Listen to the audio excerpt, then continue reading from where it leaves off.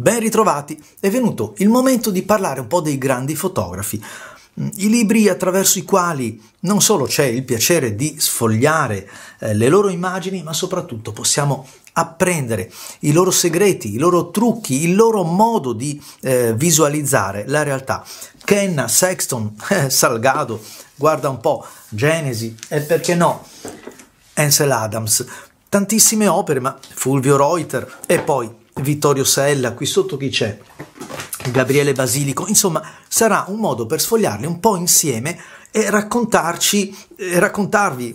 il mio modo di osservare questi libri e di imparare, apprendere eh, dal loro modo di scattare e poi sono senza dubbio delle opere veramente molto belle che vale anche la pena conoscere magari ve le illustro e se vi viene voglia, perché no, ve le andate anche a comprare perché un libro è sempre un libro. Non solo Vittorio Sella di cui vi ho parlato, ma anche tanti libri di montagna perché sono quelli che ci insegnano non solo qualcosa sulla montagna, ma ci fanno vedere magari da una prospettiva diversa eh, le montagne, ci insegnano eh, quei, quelle location, quei posti, oppure come in questo caso eh, la fotografia con un formato mm, grande, medio, insomma sono quelli che ci aiutano poi eh, e alimentano la nostra passione eh, per la montagna e quindi per la fotografia. Vi aspetto e possono essere comunque sempre spunti utili perché sono libri e questi non dovrebbero mai mancare. E visto che stiamo parlando di fotografie stampate, beh, eh, in questa serie, magari verso la fine per,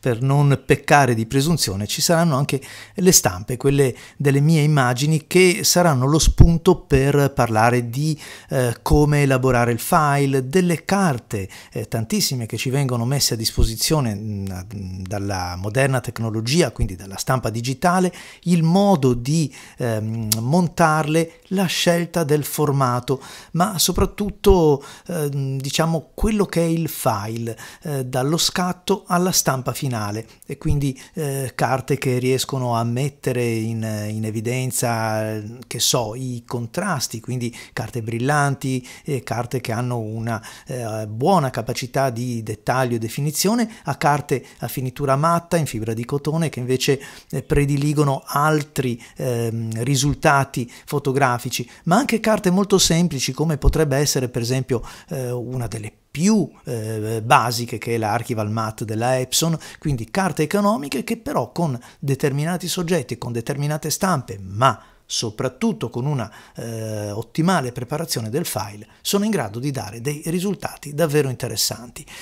Eh, una cosa che mm, mi piace molto ecco, de, de, del mio mestiere è proprio la possibilità che eh, la tecnologia digitale di stampa eh, ci ha regalato mettendoci a disposizione tantissime varietà di finiture. Eh, ve l'ho detto, mh, mm, sia per la tonalità che per la grammatura, la finitura superficiale, eh, il look fotografico che poi viene determinato da queste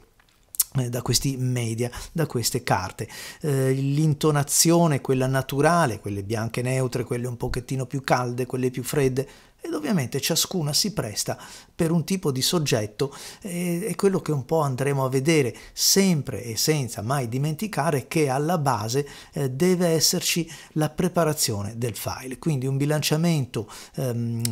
del file che nasce addirittura dal progetto fotografico. Eh, ci sono delle carte che poi entrano proprio nel nostro, ehm, nel nostro cuore e quindi ci piacciono più di altre. E senza dubbio su quelle poi si va anche a finalizzare eh, la stampa che deve avere una forza nella, mm, nella media, diciamo, del grigio piuttosto che nel contrasto del bianco e del nero, ma anche le carte che invece sono ideali per il colore, sebbene qui devo ammettere che la mia conoscenza è meno approfondita di quello che insomma posso vantare ormai con parecchi decenni allora, di lavorazione sul bianco e nero. L'invito per questa nuova serie e intanto buona luce a tutti come sempre.